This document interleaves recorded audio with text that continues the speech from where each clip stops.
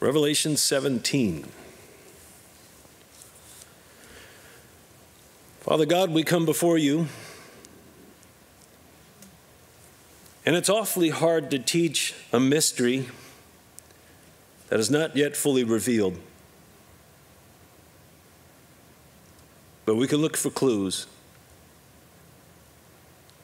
Lord, how I pray that you would take this chapter of Revelation that has two major subjects that are especially key in the last days, in particular, the last seven years, before you return and establish your kingdom that will have no end. And so, Lord, I pray you would open your word today, help us to understand it, and that, Father God, it might challenge us to be salt and to be light, even among God's people, while we have time. And so, Lord, bless this time, make it clear, make it simple. May everyone go home, hopefully, understanding more of what is coming so they can be prepared. We thank you, Lord. We praise you and ask you to open your word to us now in Jesus' name. Amen. To remind us, Revelation chapter 16, verse 10. The fifth angel poured out his vial upon the seat or the thronos, throne of the beast, the Antichrist. His kingdom was full of darkness, and they gnawed their tongues for pain blasphemed the God of heaven because of their pains and the sore, their sores, and repented not of their deeds.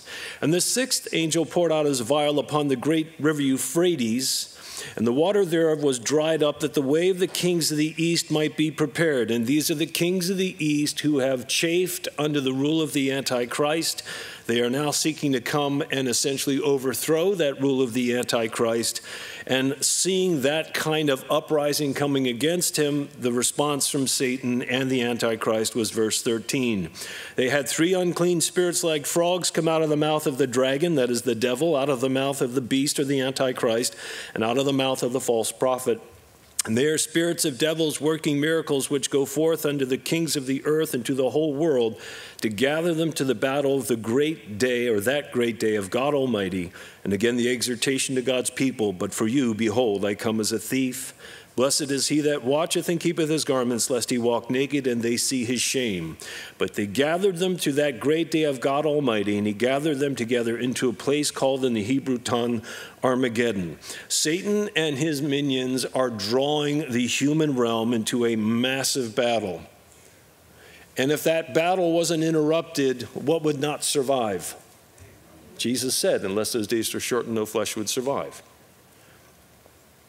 Then the seventh angel poured out his vial into the air, and there came a great voice out of the temple of heaven from the throne saying, It is done, or the idea, it is completed, it is finished, is what often is the idea. It has come to pass, is the best translation. And there were voices and thunders and lightnings, and there was great earthquakes, such as was not since men were on the earth, so mighty an earthquake and so great. And the great city was divided into three parts, believe again, Jerusalem. And the cities of the nations fell, talked about it last week, and great Babylon, who we're going to learn about today, came in remembrance before God to give unto her the cup of the wine of the fierceness of his wrath. And every island fled away, and the mountains were not found. And there fell upon men a great hail out of heaven, every stone about the weight of a talent, and men blasphemed God because of the plague of the hail, for the plague thereof was exceeding great. And of course, what ought to follow next is chapter 19, verse 11, which is I saw heaven open behold, a white horse, and he that sat upon him was called faithful and true, and in righteousness he doth judge and make war. That's where we ended up. Now, to, to sum up thus far what we've had happen, we had the fifth bowl or vial, which plunged the Antichrist, in particular his throne, his kingdom, into darkness, and the idea it's coming under judgment. We had the sixth bowl, which was the way of the Euphrates being dried up, and there was this uprising coming against the Antichrist, which caused Satan and those two minions, Antichrist and false prophet, to respond by going out and deceiving the nations to come and fight. And they're going to be deceived one more time as Christ returns, and that is they're going to be deceived to turn and try to fight God. Kind of makes you wonder if that is what the lie is of the strong delusion that you can fight God and win. And then we saw the seventh bowl poured out, or vial. And it was poured out as we studied last week into the air. And we were learning from the scripture, he's the prince of the power of the air. He's the God of this age who has blinded the hearts and the minds. And so there came this final judgment against the, the realm in the sense of the very authority of Satan's realm, it appears. And I wonder as that happens, did that begin to plunge the principalities and powers into their own confusion? But as all this is happening, the end result is going to be verse 19, chapter 16 Great Babylon is going to fall. The Lord is going to return, and he's going to establish his kingdom. So now that Great Babylon has been mentioned to us, John takes a side journey here that goes from chapter 17 to chapter 19, verse 10, and he's going to describe to us the things that are going on in judging this system, which has really two components to it. So in chapter 17, we have two major subjects we're going to talk about. One is the woman, and we'll get to her in a minute. The second is the beast, which you know from chapter 13, the Antichrist, and how these two interact during this final seven year period of history to deceive the nations, to lead them away from God, and to bring them to a false system of worship. Is everybody still with me? What are our two subjects? Woman? Antichrist, beast. Okay, good. So far, so good. The reason why I'm going to be very deliberate is because this chapter, when you consider it, has some very sobering implications. So we need to understand it clearly as best we can on this side of it happening. Prophecy is prehistory. It's something before it happens. It's so easy to see it with 2020 vision once it has happened. So we're going to do the best we can, and what I get wrong, you'll make fun of me in heaven forever, and I'll deal with it. So now, context. Context is very important. There came one of the seven angels, chapter 17, verse 1, which had the seven vials or bowls, and talked with me, saying unto me, Come hither, and I will show unto thee the judgment of the great whore that sitteth upon many waters. Now, I want to point out something very obvious. The church of Jesus Christ is called the bride of Christ. How many understand the bride of Christ is quite different than the great whore? How many? One of these things is not like the other. One of these things is not quite the same. So, how did we get here? Ah, good. Turn to Revelation 3. Revelation chapter 3. Revelation chapter 3, there was the seventh church that was being admonished. And he said, As many as I love, verse 19, chapter 3, Revelation, I rebuke. As many as I love, I rebuke and chasten. So be zealous, therefore, and repent. Behold, I stand at the door and knock. If any man hear my voice and open the door, I will come in to him and will sup with him and he with me. Now he's speaking to a church, but you could apply it to your own heart. The Lord has spent for you your lifetime knocking. And you may be you're here and you do not yet have a saving relationship with Christ. You have not yet surrendered your life to him, but you're here because weird stuff's going on in the world around you and you want to see what's going on among God's people. And we just happen to be in the book of Revelation, which we did not plan, but somebody did. The idea that things are convicting you that you've done in the past, the guilt and the shame is beginning to get overwhelming. That's God knocking. That's God knocking through the Holy Spirit.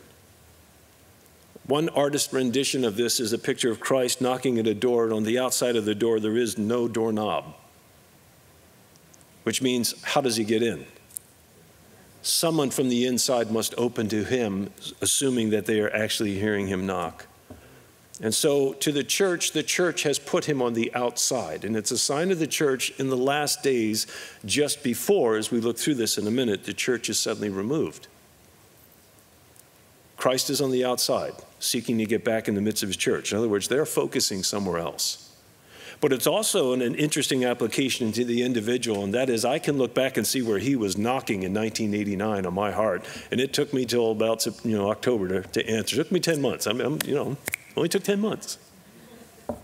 Thank God he didn't stop. So, first of all, we learn something very important. To him that opens, if you open your heart this morning to Christ, I will come in and sup. I will fellowship with you. I will have relationship with you. The idea is acceptance and blessing. To him that overcometh, verse 21, chapter 3, will I grant to sit with me in my throne, even as I also overcame and am set down with my Father in his throne. He that hath an ear, let him hear what the Spirit saith unto whom? churches, ecclesia, called out ones, the ecclesia. From chapter 1 to chapter 3, verse 22, that word has been used 19 times. 19 times we hear about the churches, the churches, the churches, the called out ones, the called out ones, the churches. And then suddenly, after verse 22 here, it disappears. And we don't hear the word the churches again until the last chapter, Revelation 22 16. It's almost like after this, the church is gone on the earth. That's important. And just in case we're not sure about that, look at Revelation chapter 5. Revelation chapter 5, when he had taken the book, verse 8, the four creatures, living creatures, and the four and twenty elders fell down before the Lamb, every one of them having harps and golden vials full of odors, which are the prayers of saints. In Revelation 5 9, they sung a new song, saying, Thou art worthy to take the book and to open the seals thereof, for thou wast slain and hast redeemed us, and we went all through this when we were there redeemed us to God by thy blood out of every kindred and tongue and people and nation, and hast made us unto our God kings and priests, and we shall reign on the earth. Here is the church in the presence of Jesus Christ singing his praise as he takes the scroll from the Father and has yet to break a seal. Well, how do you know it's a church? Very simple. Look back at Revelation 1. Revelation 1, verse 4. John to the seven churches, which are in Asia, grace be unto you and peace from him which is, and which was, and which is to come, from the seven spirits which are before his throne, and from Jesus Christ, who is the faithful witness and the first begotten of the dead, and the prince of the kings of the earth. Unto him that loved us, who was he writing to? The churches Unto him that loved us and washed us from our sins in his own blood, and has made us kings and priests unto God and his Father, to him be glory and dominion forever and ever. Help me, church. Amen. Amen. So in Revelation 5, you have the target audience of this book, the church, in the presence of Jesus Christ, singing his praise, and then he breaks the first seal chapter 6. And when he broke the first seal, that began the rise of the Antichrist. And the Antichrist is identified by making what for seven years? Okay, so let's slow down and consider it. When the Antichrist makes his peace agreement, based on how this book is laying out the, the direction here to us, where is the church? So when that peace agreement starts, it runs for seven years. Halfway through, he's going to upend that agreement and demand the Antichrist to be worshiped as God. Everybody still with me? Okay. Why is this important? Because chapter 17 is picking up what has happened with the religious system during that seven years where the true church has left and has left behind buildings, wealth, political influence, and basically the opportunity to take over. How many are following me? We are looking at what is the remnant of the churches around the world having had the true believers removed, and suddenly the believers who are left, you know, you come to church on a Sunday and nothing's set up and no one's here and the coffee's not working and all that, and you're like, they're totally slacking. Maybe you were the church is going to suddenly disappear. Throughout Scripture, we talked about it. So the context we have is, back to chapter 17, the context we have is in the absence of the true believing church who knew Christ as their Savior, there was left behind a shell or a remnant of the buildings and the organizational structure and the political influence and the, you know, the schools and the orphanages and all the other things all around the world are suddenly up for grabs. So, chapter 17. there came one of the seven angels which had seven vials, or had the seven vials, and talked with me, saying unto me, Come hither, and I will show you the judgment of the great whore that sitteth upon many waters. Okay, we can solve many waters first of all. Look at verse 15. He saith unto me, The waters which thou sawest, verse 17, 15, where the whore sitteth are peoples and multitudes, nations, and tongues. First question What is the effective reach of this harlot system? The whole world. And it may well be that with the signing of this peace agreement and suddenly the empty shell of what has been the church and those who are left behind, it may be we will see a, uh, just an incredible ecumenical movement, so called, where all the churches just start getting together, bust out, sing kumbaya, and here they are, they're part of this system. When will we know for sure? When it happens. Who wants to be here? Yeah, me neither. Okay. So here we go. We have what was the structure, the influence, and the power, and sadly, some of the players still here of that system. So she sits upon many waters. Verse 2 with whom the kings of the earth have committed fornication. That had to be pretty shocking to John because in 90 AD, John is sitting on the Isle of Patmos, as you know, as essentially an exile under punishment because he had been, according to tradition, boiled in oil, tortured, survived it, and so he was sent by Domitian to the island of Patmos where he was put to hard labor, as far as we understand, because of his faith in Christ. At his time, the church has virtually zero political power. And so for him to see this great whore, this system, and this system has become not only global, but this system has reached a point where it actually influences and essentially is dominating and, and being very much involved in politics. He's sitting there watching, going, oh my goodness, this thing has been involved in, in rising of kings and making kings and instructing kings, and it must have blown his mind. With whom the kings of the earth have committed fornication and the inhabitants of the earth have been made drunk with the wine of her fornication. Now, if you've been with us, you keep hearing the statement, they that dwell upon the earth. How many remember it? They that dwell upon the earth. It's used 11 times, and this is our 10th of 11 uses. And this 10th use, again, the inhabitants, same thing is translated dwellers. These always refer to the unbelievers. And so, with whom the kings of the earth have committed fornication, and the inhabitants of the earth, or the unbelievers, have been made drunk with the wine of her fornication. They are being deceived by this system. So he carried me away in the spirit into the wilderness and I saw the woman sit upon a scarlet colored beast full of names of blasphemy, having seven heads and ten horns. Okay, next thing, verse 3 carried me away in the spirit to show him something. Interesting, carried me away to the wilderness. I, you know, I spent the week looking and praying and thinking about why the wilderness? If you were looking for fruit, would you go out to the wilderness? Interesting, it seems to almost speak of the system as anything but fruitful took me out to the wilderness. And I saw a woman sit upon a scarlet colored beast. Interesting, it is a woman that is chosen. Think back to how Satan brought the whole creation into sin in the first place. Interesting depiction deception, seduction. A woman sit on a scarlet covered therion, same word used of the Antichrist in chapter 13. But just to make sure we know what we're talking about, scarlet covered beast, that scarlet covered beast is full of names of blasphemy, having seven heads and ten horns. Let's turn back to chapter 13, verse 1 of Revelation, just to review. Chapter 13, verse 1 I stood upon the sand of the sea, and I saw a beast rise up, Therion, out of the sea, having seven heads and ten horns, and upon his horns ten crowns, and upon his head the name of blasphemy. Okay, back to chapter 17.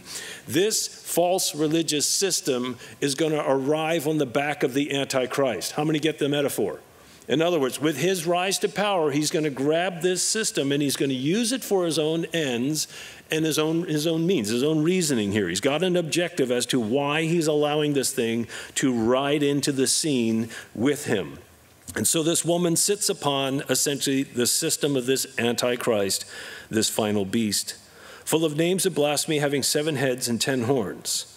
And the woman was arrayed in purple. Who wore purple in the days of John? The Roman, politically connected, Roman class, the royalty. Lydia was a seller of purple. Purple and scarlet come from two things one from the, the blood, kind of this, this stuff from worms, the other from the murex shell, both very expensive. And of course, when it's expensive, it tells everybody that you have cash. And so they like to wear purple. Something I've been noticing since 2015, and I'll just tip you off to it. Normally, when you see in this political season people of different parties, you'll see a blue tie or a red tie. But if you're paying attention, there are people starting to wear purple. Maybe you haven't seen it, but it's caught my eye as soon as it started showing up in 2015. There's a group of people wearing purple. Keep your eye out for it because it, you almost wonder, like, is that? But just pointing it out. Just, sorry, everything I see, I see through this because I spend all day in this, right? So when I see them, like, wait a minute, what are they doing in purple? And these are the movers and the shakers. You kind of go, hmm, purple, first color. Second color, scarlet color. Okay, time out. Where's the church, the true church, as this is happening? Hands. I want to see it with hands. Where is the true church when this is happening? Everybody with me? Okay, here are some challenges. One, Google who wears scarlet. Just try it. I tried it throughout the weeks. I tried it again, looked at it even, you know, last night, late. Google who wears, doesn't matter which, which platform you use. I use Chrome, tried a couple. Who wears scarlet? The first link that comes up will surprise you. And if you click on that link, the photo will be pretty surprising as well. If you have what I have, it's clean. What are you saying, Pastor? I'm saying when you ask the World Wide Web who wears scarlet, they give you a specific group of people right now in the religious community. Surprising. Remember, but this is after the true church is removed, the shell is left with some key players possibly there who said they knew about Christ but did not truly believe in Christ, maybe even heard him knocking but left him on the outside. Jesus takes his church home, and here these people are still connected, perhaps even have position, and they consolidate power. How many understand me? Okay, so there was a scarlet colored woman with purple and scarlet. That's how she's arrayed. Verse 4 she's decked with gold and precious stones and pearls. Interesting again, having a golden cup in her hand full of abominations. The idea is a foul odor or something disgusting or abhorrent. Full of abominations and filthiness of her fornication. Here's another interesting thing to Google Google having a golden cup in their hand you'll be interested to see what comes up in the first set of images. So think of the church, the true church has been removed. And I will tell you, I have encountered born again believers in virtually every permutation of the church you can think of. And praise God, I find them. I find them among denominations. I find them among those who used to have a name and no longer have it. I find among those who have some conflicting doctrines, but you know what? They know Christ paid for them and they believe Jesus is the Savior and they're born again. I see them, I meet them. And when he pulls out that true remnant from among the visible church around the world, there is going to be a system that is going to get consolidated, it is going to be global, and it is going to be used absolutely by the Antichrist for his own ends. Interesting things to see. So her hand is full of a cup, a golden cup of abominations and filthiness. Verse 5 And upon her forehead, she's identified by this, was a name written mystery now, a mystery in the Bible, if you've been with us, is not something that cannot be known. It's something that is now finally being revealed. Okay? And so the mystery of the gospel, if you go back through the Old Testament, you'll see there were many who trusted God by faith. You could see that the Jews and the Gentiles would all eventually be the flock of God. It's throughout the Old Testament, not just in the New, but it was a mystery that had been hidden that the Son of God would come and would die. And the Jews would struggle. How can he suffer? But he reigns forever. And they were missing the key that first the Christ suffers, then he enters into his glory. These things were there, but you just, it had to take time to reveal it. So now we have this mystery. It is Babylon the great, the mother of harlots and abominations of the earth. First things first, the mystery is something being revealed, but we, if we paid attention, we could see that it was already going on at a small level. What do you mean? Turn to 2 Corinthians chapter 11. 2 Corinthians chapter 11. There are a number of places I could go in the New Testament, but I'm going to just let Paul talk to us. Paul is, if you can imagine, having to defend his apostleship to the Corinthians, who were in darkness till he came and shared with them. But he's saying to them, Are they ministers of Christ? Verse 23. I speak as a fool, well, then I am more. In labors more abundant, in stripes above measure, in prisons more frequent, in deaths often. Of the Jews, five times, verse 24, 2 Corinthians 11, of the Jews, five times received I 40 stripes, save one. Five times he received 39 lashes. Thrice was I beaten with rods, which is a great way to break your ribs. Once I was stoned. Thrice I suffered shipwreck. A night and the day have I been in the deep. Look at this. In journeyings often, in perils of waters, in perils of robbers, in perils by my own countrymen, in perils by the heathen, and perils in the city, and perils in the wilderness, and perils in the sea, here we go, and perils among false brethren. False brethren, pseudo the idea pseudo apostles or pseudo, essentially pseudo um, disciples or pseudo adelphos, pseudo brothers, false brethren. Interesting. Take a look, if you would, also at Acts chapter 20, further left. Acts chapter 20. Paul, talking to the Ephesian elders, didn't have a lot of time to visit everybody, so he had them meet him at Miletus. And he said to him, verse 28, Take heed, Acts 20, 28, take heed therefore unto yourselves and to all the flock over which the Holy Spirit has made you overseers to feed the church of God. Don't miss this, which he, God, has purchased with his own blood.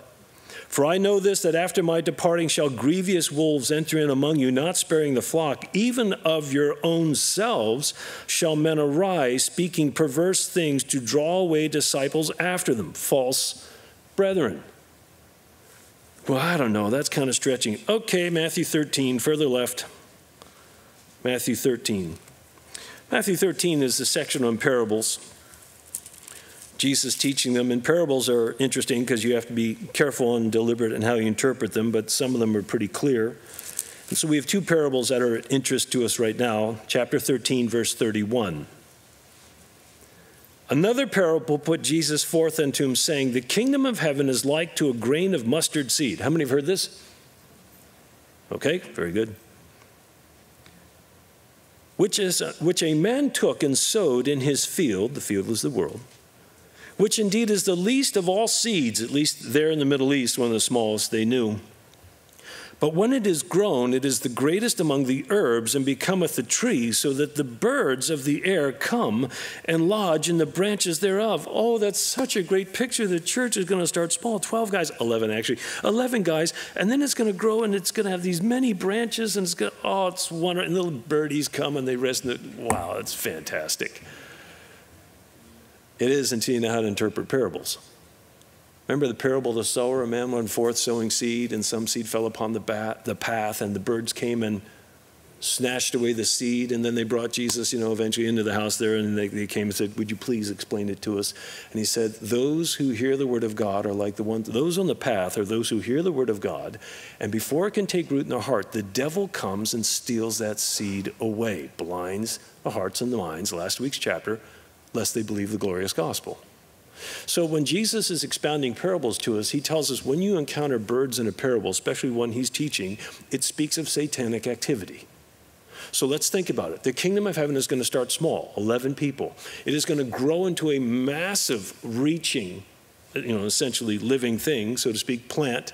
It's going to have many branches. Today we call them denominations. And Satan, near the end of its growth, is going to infiltrate and influence some of those branches. I know that sounds far fetched.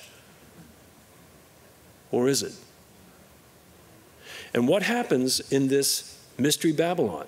Satan takes what was the church after the true church has been removed, takes over its branches, and uses it now with the Antichrist to deceive the world. How many are following me? Because if you're going to have an antichrist, the best thing to use to bring people to it is what was Christ's church. But now the church is gone, the true church. Interesting. And it doubles down on that idea in verse 33. Another parable spake he unto him The kingdom of heaven is like unto leaven. What is leaven a type of? Almost always a type of sin. The kingdom of heaven is like leaven, like unto leaven, which a woman, interesting, took and hid in three measures of meal till the whole was leavened. Now, the optimist would say, Oh, that's great. The gospel is going to go in, it's going to reach the entire world, and it's going to be wonderful, and would to God. But the other valid translation is the kingdom of heaven is like the church is going to get leaven brought into it that sadly, near the end of its time, is going to be almost completely corrupt. Okay, back to Revelation 17. There came one of the seven angels which had seven vials, talked with me, and said, Come hither, and I will show to you the judgment of the great whore, a religious system that is opposed to Christ, that is deceiving nations around the world, with whom the kings of the earth have committed fornication. The inhabitants of the earth have been made drunk with the wine of her fornication, again, misleading them away from God. He carried me in the spirit to the wilderness, and I saw a woman sit upon a scarlet colored beast, the Antichrist. She rides in on his system, full of names of blasphemy, having seven heads, ten horns. The woman was arrayed in purple and scarlet color, decked with gold and precious stones and pearls, having a golden cup in her hand, full of abominations and filthiness of her fornication. And upon her forehead was written the name, Mystery, now revealed, a false church. Babylon the Great the mother of harlots and abominations of the earth. This thing's rooted in Babylon. Ooh, are we run out of time? Ah, let's keep going. All right, so Genesis chapter 10, left turn Genesis. We're going to we're going to condense. Genesis chapter 10. Babylon. What's the deal? Where's it from? What's its influence? Okay. Isn't that amazing? To understand Revelation, you got to go to Genesis. It's like it's one book. Thousands of years apart, 1400 years at least apart. So in Genesis chapter 10, verse 6, this is after Noah and his three sons and their wives left the ark. He had three sons Shem, Ham, and Japheth. Very good. Well, let's follow the line of Ham. Verse 6 The sons of Ham were Cush, Mizraim, and Phut, and Canaan. The sons of Cush, Sheba, and Havilah, and Sabtah, and Raamah, and Sabteka, or Saptica, you try it. And sons of Raamah, Sheba, and Dedan. Cush begot Nimrod. Nimrod began to be a mighty one in the earth. He was a mighty hunter before the Lord, wherefore it is said, even as Nimrod, the mighty hunter before the Lord. There's some references, according to historians among the Assyrian records, to this effect. And note this in verse 10 and the beginning of his kingdom. This appears to be the first attempt or the first founder to attempt to establish an empire. His kingdom was at where? Babel, or Babel, or Babel, depending how you want to say it and Erech, and Akkad, and Calneh, and the land of Shinar. And out of that land went forth Asshur and builded Nineveh, these cities coming out of Nimrod. Nineveh, which we talked a lot about on Wednesday nights. Babel. Okay, well, fine. Good. Chapter 11, verse 1. The whole earth, Genesis, was of one language. Chapter 11, verse 1, Genesis. Flip the page. The whole earth was of one language and one speech, and it came to pass as they journeyed from the east that they found a plain in the land of Shinar, and they dwelt there. Some argue this is northern Tigris Euphrates near the Sinjar Mountains. That's the opinion of some. Others say no, it's down closer to the area of Babylon proper. When will we know for sure? When either the archaeologists get it straightened out or God tells us. But it's in the same region of Tigris and Euphrates, still in Mesopotamia. So they came to the plain of Shinar. they dwelt there. And they said one to another, Go to, let us make brick and burn them thoroughly. And they had brook for stone and slime for the mortar. And they said, Go to, let us build us a city and a tower whose top may reach unto heaven. And let us make a name lest we be scattered. Now, when Noah came off the ark, he was told to be fruitful, multiply, and fill the earth. They don't want to follow God's direction. Let's make a tower. Let's reach unto heaven. Let's do our own thing, is the idea. And the Lord came down, not that he didn't know, but this is often how he does judgment. The Lord came down to see the city and the tower which the children of men builded. And the Lord said, Behold, the people is one, and they have all one language, and this they have begun to do. Excuse me. And nothing will be restrained from them which they have imagined to do. Go to, let us, plural, go down, singular. Don't miss that. Don't miss that. Father, Son, Holy Spirit.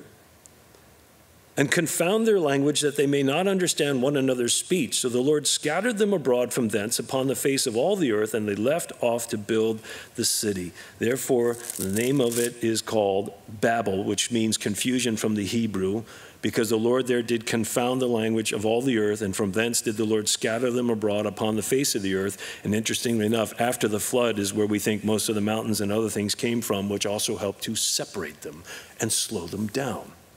Babel, interesting, can mean confusion. Bab-il, according to Jamieson, Fausset, and Brown, can also mean gateway to God. Interesting. Bab-el, others say, El, gateway to God. Bab-elion, from Answers in Genesis, gate of the gods. So what we have is we have men, through their efforts, trying to work their way to the gods. What is religion? Religion is you having to do something to get right with God. What is salvation? Salvation is God, having come down to die for you, offers you forgiveness. One is based on man, and you will never reach. The other is based on God, and He's been knocking, and all you got to do is say, Here I am. Totally different system. So, this system of Babel or Babylon is, again, man made religion essentially, man made rules seeking to attain something, but yet will come up horribly short and deceived. So, back to Revelation mystery, going to be revealed. Babylon the Great. How many have ever seen the Know Your Enemy series? Okay, if you haven't, Google Know Your Enemy Fuel Project. A lot of good stuff in it. You take the meat, spit out the bones. But they have 77 parts. 77. You will lose two days. Two days, because you won't be able to stop. But we'll show you how Mystery Babylon has worked from this time of the area of Mesopotamia, even to the present day in its occult influence. You'll see it. This has been around a long time. The mother of harlots, and abominations of the earth. And so, verse 6, John goes on I saw the woman, this religious system, drunken with the blood of the saints. You see, this mystery is now fully revealed, but there have been those who are opposed to God, who have persecuted those of God, who have preached the narrow way, the truth of salvation in Christ. And once again, if you know church history, we've seen little hints of whether it was Catholic against Protestant or Protestant against Catholic. You saw different times where the church got taken over, deceived, and began to do ungodly things. Those are all foretastes of what's coming ultimately in this system when God's people are out and the shell is left behind and this thing suddenly has global reach empowered by the Antichrist. It's going to be an absolutely horrible thing to see, let alone live through. I saw the woman drunken with the blood of the saints and with the blood of the martyrs of Jesus. This will be especially during the tribulation. Those who refuse the mark, refuse to worship the Antichrist, take the number of his name, they're going to find some of the biggest persecution they receive is coming from this false religious system. With the blood of the martyrs of Jesus. When I saw her, I wondered with great admiration. He was wondering the ideas with great wonder. And the angel said to me, Wherefore didst thou marvel? John's sitting there watching and he's going, What happened to the church? Well, number one, it got removed. And then Satan grabbed it through this Antichrist, threw it in with his program, and used it to deceive the nations to bring them ultimately to worship the Antichrist, who tried to bring them to worship the devil himself. You see, if you won't receive Christ now while we're still in the acceptable year of the Lord, what's coming is a strong delusion. There's going to be a form of godliness, so to speak. There's going to be some kind of religious system, but it's not going to bring you to the way, the truth, and the life. It's going to bring you down into destruction. That's coming. And God's warned us. So why did you marvel? Because you couldn't believe what had happened. The angel said unto me, Wherefore didst thou marvel? I will tell you the mystery of the woman. Okay, two subjects, and of the beast that carried her. So I will tell you about the false religious system and the Antichrist and his governmental authority. What was the subject of our chapter? These two things. Okay, wonderful. Let's try to finish up the mystery of the woman. Interesting. Verse 9. Here is the mind which has wisdom. In other words, tie on your thinking caps. Kindergarten all over again. The seven heads are seven mountains on which the woman sitteth. You will find this system headquartered in a place that has seven hills, seven mountains. Okay, that's interesting. You will learn again in verse 15 the waters which thou sawest where the whore sits, this religious system, are peoples, multitudes, nations, and tongues. So, though it is based in an area that has seven mountains where it's located, its influence yet will be global. Verse 16 The ten horns which thou sawest upon the beast, these are ten kings as we know. They shall hate the whore, the religious system, and shall make her desolate and naked, and shall eat her flesh and burn her with fire. For God has put it in their hearts to fulfill his will and to agree and give their kingdom unto the beast. So they will tolerate this system for a period of time, but when it is finished serving its purpose, it is going to be turned against or turned upon and taken down until the words of God shall be fulfilled. They will do these things. And then, verse 18, here comes the real interesting curveball. And the woman, this false religious system which thou sawest, is that great city which reigneth over the kings of the earth. Very simple question. In 90 AD, what city was that? Rome. What is Rome built upon? Seven hills. Now, hear me carefully. The system that is going to rise appears to be headquartered in Rome, wears scarlet and purple, has a global reach, and is preaching anything but the true gospel. That's what's coming. That comes when the church has been what? Removed. Does everybody understand me? You are seeing a godless system of goats that have been left behind. And once that takes root, it is going to be used to deceive the world. And it is going to be powerful, it is going to be sobering, and it is going to happen. But we got to deal with that beast too. Verse 8 The beast which thou sawest was and is not and shall ascend out of the bottomless pit. What does that mean? It means we're out of time. We're never going to be able to get to that now. Get that next week. Let's stand and pray. Well, that was easy, right? Dear church, I reserve the right to be wrong. But I'll tell you what, whatever this thing is, it's a mess. And it's going to lead people away from Jesus. If you're sitting here thinking, well, I'll wait till I come back and this place is empty and then I'll get saved, I wholeheartedly encourage you not to wait.